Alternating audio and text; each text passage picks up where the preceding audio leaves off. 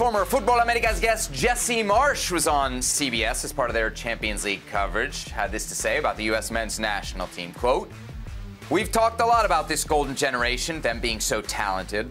Well, they don't have a signature win yet.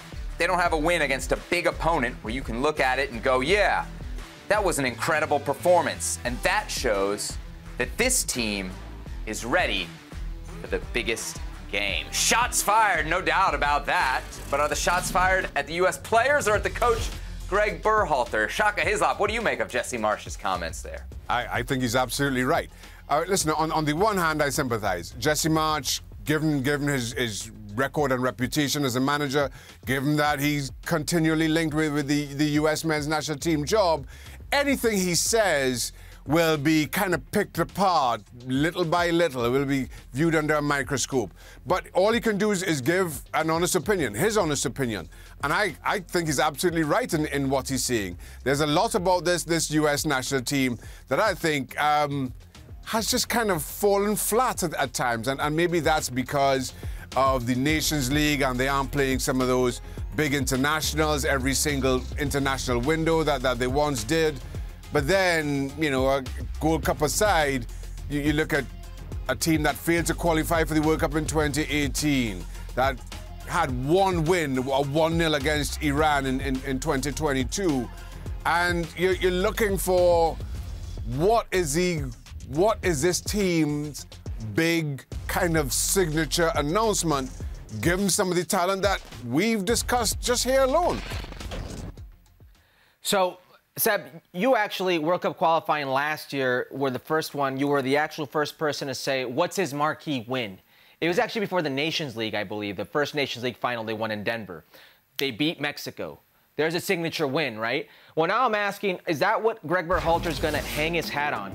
Beating the worst generation of Mexican players that I've seen in my lifetime. That, th- those are his accolades. That's what he's going to hang his hat on. We've said it so many times here in Futbol Americas. He doesn't have a signature win. He doesn't have those marquee wins. Now Jesse Marsch is just saying what we've been saying all along. And, and it's not shots fired. And it's not shots fired, especially at the pool of players. He's talking about Gregg Berhalter. And the reason it's not shots fired is because now he's a pundit. He's not a coach.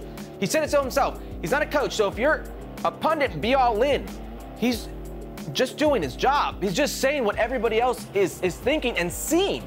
A, a, win against Iran in the World Cup, that's not even what they hang their hat on. When American fans want to hang their hat on something at the World Cup, it's a draw. It's a 0 0 draw against England. That's Gregg Berhalter's legacy thus far. Mm. All right, Shaka, real quick, we don't have too much more time here, but you did get a, a couple good looks at the U.S. when they were playing your beloved Trinidad and Tobago in the CONCACAF Nations League quarterfinals, first and second leg. Obviously, there was a red card in the first leg, affects Trinidad and Tobago. A red card in the second leg affects the United States. But what's your, your big takeaway from watching the American team that we saw without Christian Pulisic uh, and without Timothy Weah as well?